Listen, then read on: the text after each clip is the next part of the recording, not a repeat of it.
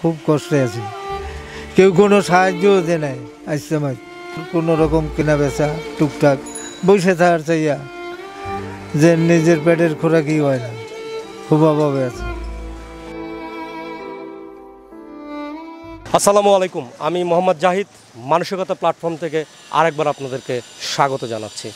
এই মুহূর্তে আছে আমরা কালীবাড়ির সুকুমার গলির অপোজিটে। আমরা কথা বলব একজন বয়স্ক চাচার সঙ্গে যিনি দীর্ঘদিন হলো এইখানে পান সিগারেট এবং টোটা, সুতো এগুলো বিক্রি করে আসছেন। চাচা, আপনি আমাদেরকে বলবেন একটু যে আপনি কতদিন যাবত এই ব্যবসাটি শুরু করেছেন? এ আঠাশ হইতে তিরিশ বছর তোমার বয়স আপনার পঁয়ষট্টি। এইরকম ব্যব- ব্যবসা বাণিজ্য খারাপ, বাড়ি আমার গয়লা, বুঝলেন? এই এই লকডাউনে মনে করেন দোকান টোকান বন্ধ আসলে বহুদিন জামাই আবার কিছুদিন আগে খুললাম তাও তো ব্যবসা বাণিজ্য নেই খুব কষ্টে আছে।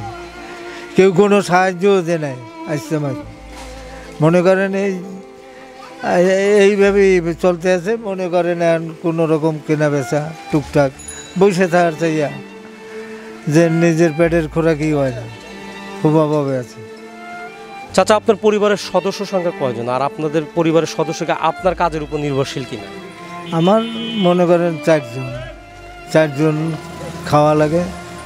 এই এই সংসারে এই টুকটাক ব্যবসা দিয়া তাও হয় না ঋণ ঋণ হওয়া লাগে বুঝলেন?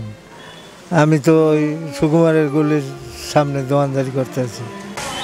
আপনি কি এই এইখানে এইভাবেই দোকান করেন না? কোনো দোকান আগে ছিল? না ছিল না এই- এইরকমই দোকানদারি করি।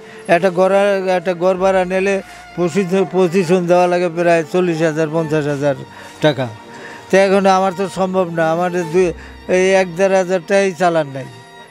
বুঝলেন? এই টুকটাক চালান লাগে। মানুষের দোকানে রাহা লাগে মালবানি বুঝলেন? আপনি এই প্রতিদিন কয়টার সময় দোকান খোলেন এবং কখন বাসায়? প্রায় সাতটার সময় খুললে মনে করেন নামাজে যাই।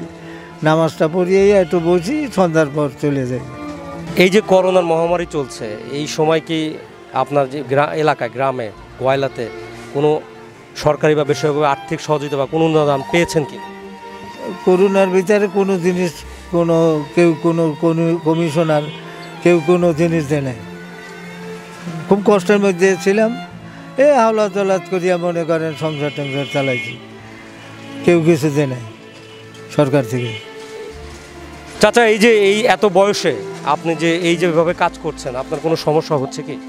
না সমস্যা হয় না। সমস্যা হয় না টাইম মতন নামাজ টামাজে যাই হাঁটা চলা একটু করা লাগে এই আর দোকানদারি করি এই টুকটাক এই মেলায়। আপনার ফ্যামিলি থেকে এমন কোনো পার্সন নাই যে আপনার দোকান করবে আপনার অবর্তমানে? এরকম কেউ আছে যে আপনি আজকে হয়তো বাইরে গেলেন আপনার অবর্তমানে একজন এসে দোকান করবে এরকম কেউ আছে? না আমার এরকম কোনো লোক নাই বা দোকান ভিতরে আটকাই রাখি মানুষের দোকানে। এই দোকানটি অন্য দোকানে অন্য দোকানে আটকাই রাখি। যেমনটি শুনছিলেন জীবন এবং জীবিকার জন্য মানুষকে কি না করতে হয়? দীর্ঘ তিরিশটি বছর হলো সুকুমার গলির সামনে এইভাবে ফুটপাতে করে এইরকম জিনিসপত্র বিক্রি করে আসছেন। আমরা এই পঁয়ষট্টি বছর বয়সের এই চাচার জন্য আমরা শুভকামনা রইল, ওনার জন্য আমরা দোয়া রইল, ওনার উত্তরোত্তর সমৃদ্ধি আমরা কামনা করছি। উনি এইভাবে যে দীর্ঘদিন হলো দোকান করছেন, তার বাসায় এমন কেউ নাই যে তার জায়গায় এসে এই দোকানটি করবে। পরিবারের কথা চিন্তা করে সে এইভাবে দীর্ঘ তিরিশটি বছর হলো কাজ করে যাচ্ছেন নিরলসভাবে। দেশকে ভালোবাসুন, দেশের মানুষকে ভালোবাসুন। এই প্রতিপত্তকে লালন করে মানসিকতা প্ল্যাটফর্ম সামনের দিকে এগিয়ে যাচ্ছে। আমি মোহাম্মদ জাহিদ, মানসিকতা প্ল্যাটফর্ম থেকে আজকের মতো এইখানে বিদায় নিচ্ছি।